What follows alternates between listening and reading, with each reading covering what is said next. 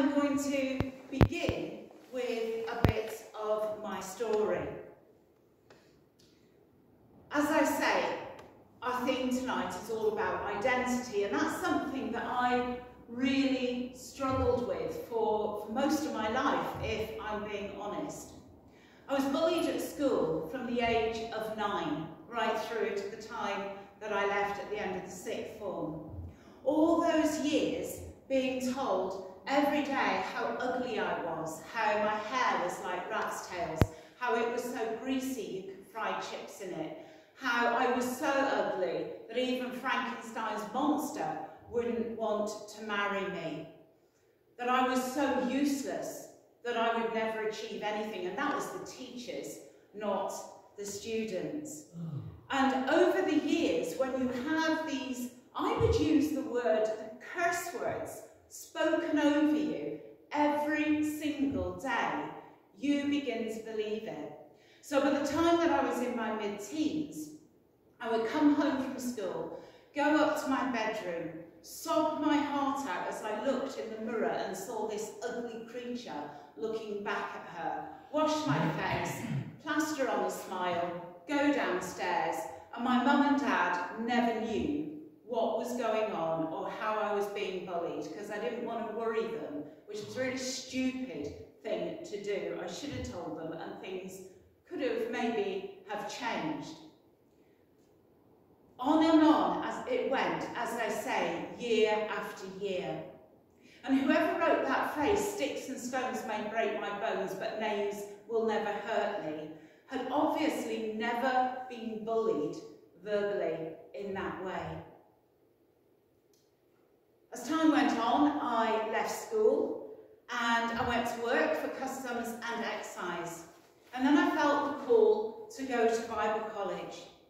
I still thought I was ugly and I still thought that I was useless and worthless. But for some reason, God wanted to use me and that was fine. From Bible college, I went on to become a youth worker and from there went into the Methodist ministry. But here's the rub. While I preached regularly that we were all sons and daughters of God, I didn't believe that for me. Everybody else was, but I was just a servant. And it was almost like everybody else was celebrating in this great hall. Any of you seen the, the, uh, the Narnia film of The Lion, the Witch and the Wardrobe? And if you have, there's this big celebration where the Pevensie children are crowned at, at the end. And there's this great hall and everybody's gathered. And in my mind's eye, the hall of heaven was a bit like that. And, and everybody was there, and I would be looking through window from the servants' quarters, wishing that I could be in there as a daughter of God rather than a servant. And that's how I felt for years until I was 44 years old. Broken in my mind, worthless in my mind, plain. I'd moved away from ugly, but I, uh, uh, plain was as far as I could get. And I went on a women's clergy weekend, having no idea of what the theme was going to be. When I arrived, there was a big sign up outside saying, Daughter of the King. And I looked at the person next to me and I said, ever get the feeling that God wants me and him to do business this weekend? And what happened that weekend is another story in itself that I may one day tell. Um, suffice it to say that when we did business, it was amazing, it was life-changing, and I could look at myself in a really different way and ex explain myself to others as a daughter of the King. No longer in the servants' quarters, but up there and as I say, one day I'll tell you the story of vision that, that, that brought this about because it, it was amazing, but that, that's not for now. But I suddenly knew that I was his daughter, I was treasured, I was loved for who I was, not what I could do. And gradually, I began to find my identity in him, and the years of lies were stripped away. Now, don't get me wrong, I've got a long way to go. And there are still periods of time where self-doubt and lack of self-respect overwhelm me. But I am a daughter of the King, who loves me just as I am, and who has walked with me on this journey to healing and wholeness. Now, why am I telling you this? Because I reckon that every single one of us here tonight can identify with at least some part of that story. As young people, we struggle with our identity, who we are and what our place is in the world. When we get older and we go to university, how will we cope away from our parents? Will people like us? Will we be able to make friends? Will I understand the course or will I just drop out? And how will I feel if I do that? All these thoughts going around and around in our minds as we take those steps of late teens, early 20s, trying to find our place in the world today. And what about when we go and get a job? Will we be able to do it? Will we understand? What will the colleagues be like? Again, will they me? Will I be a part of it or will I be rejected? And so it goes on. That uncertainty, that fear about who we are and whether we will be, whether we are accepted or acceptable. What are people saying about us behind our backs? What do they really think? If we want to know our true identity, then we need to hear what God has to say about us. Here is the truth. God says to you, you are beautifully and wonderfully made. Psalm 139. You are loved.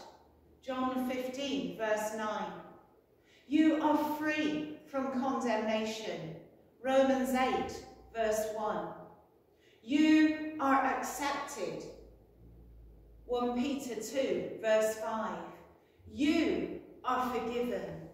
Ephesians 4, 32. You are a child of God. Galatians 4, verse 7. You are chosen by God. John 15, verse 16. You are precious and honoured in God's sight. Isaiah 43, verse 4. You may, in the past, like me, have had lies spoken over you. You may feel that you have nothing to give. You may feel that you are useless or worthless. But God made you and he doesn't make mistakes. He loves you and he's working with you and he's creating a masterpiece. We're going to come to a time of prayer and I've given you each a small mirror. Now obviously you're not going to be able to see the whole of yourselves in it but with a, a little practice and, and, and turning it from various angles, you can see bits of yourself. And so we're going to use this to come to God and to, um, to, to ask him to speak to us through, through the bits that, that we look in and through. So let's just, in the quietness, first of all, focus the, uh, the mirror, if you can, on one eye or two if you can uh, manage it.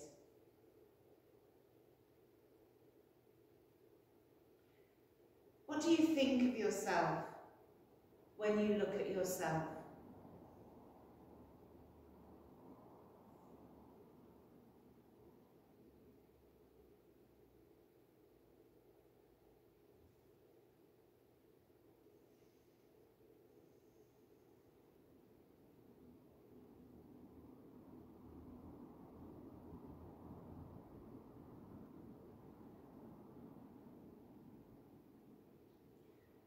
What do you think God thinks when he looks at you? Keep looking at yourself. What does God see when he looks at you?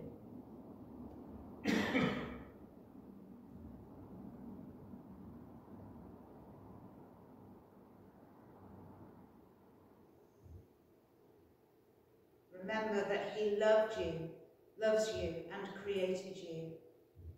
And he doesn't make mistakes.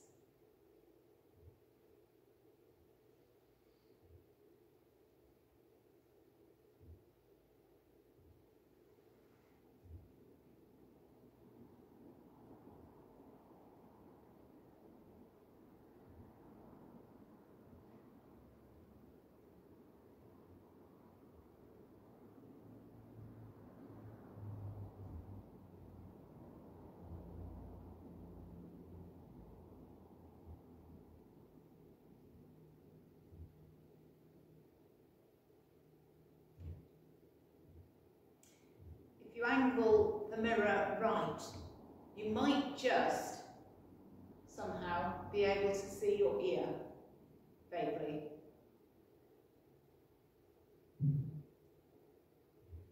How much of the things that we have heard from other people hurt us?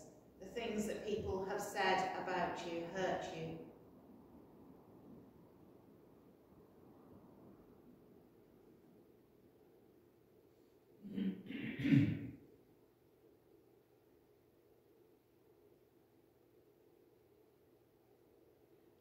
To God speak words of love and truth into your ear.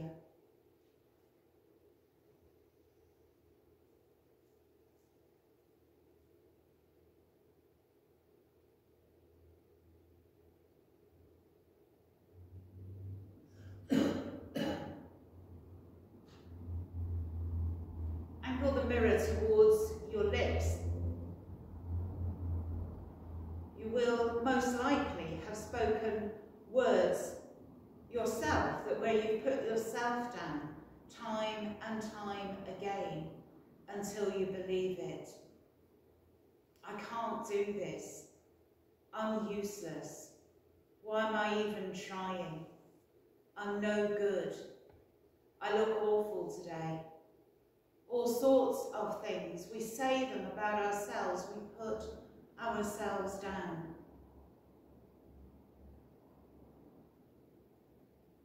Ask forgiveness for the times that we do that to ourselves.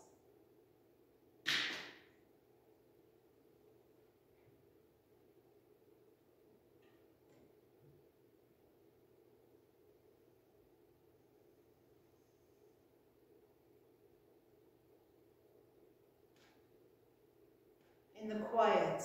Let God speak words of reassurance to you that you are truly his.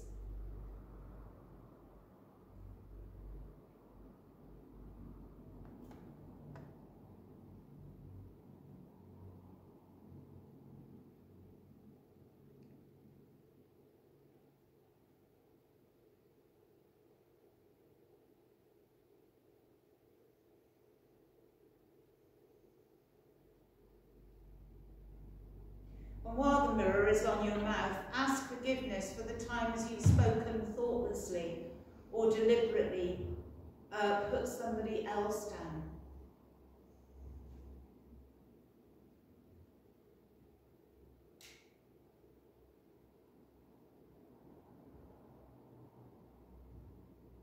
And pray for them that your words will not hurt deeply, but that God will bring healing to them.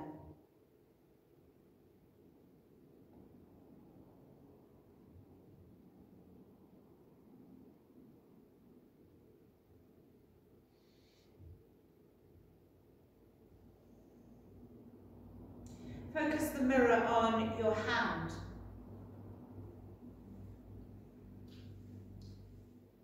What about your gifts? Do you feel that you have things to offer to God or do you feel worthless? Give that to God now.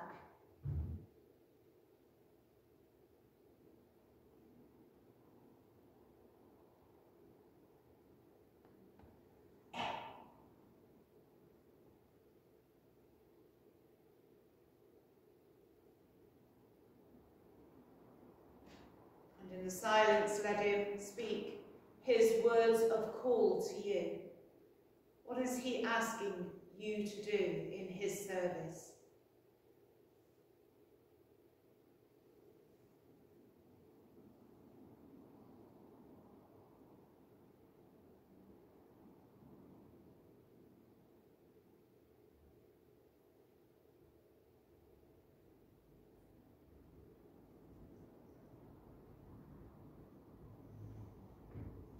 Focus the mirror, if you can, on your feet. These represent our journey with God. Sometimes it will be easy, other times it will be difficult. But pray and ask God to journey with you.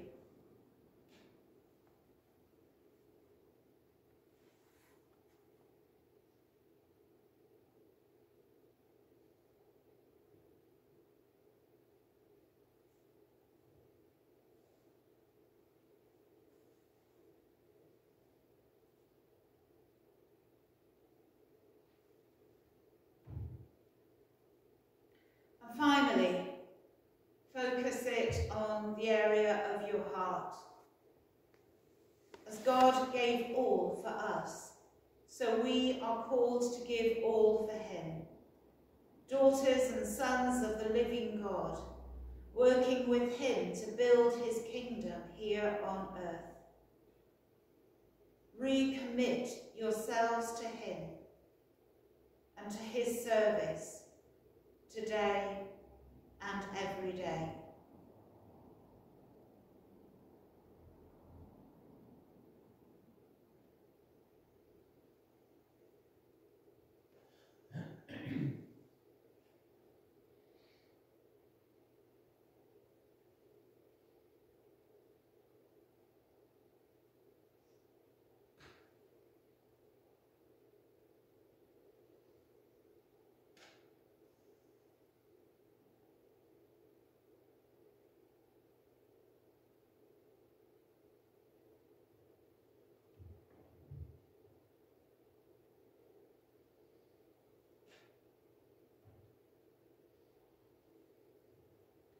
Who are you?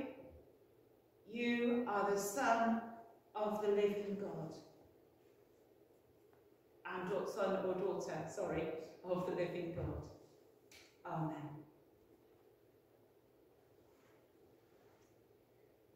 We're going to have a, a time of worship with uh, a couple of songs. The first one is going to be quieter. The second one will, will send us out.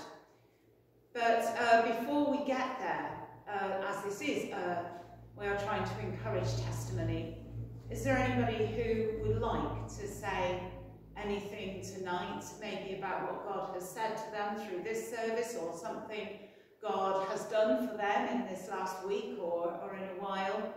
Um, feel free to, uh, to come forwards if you would like to.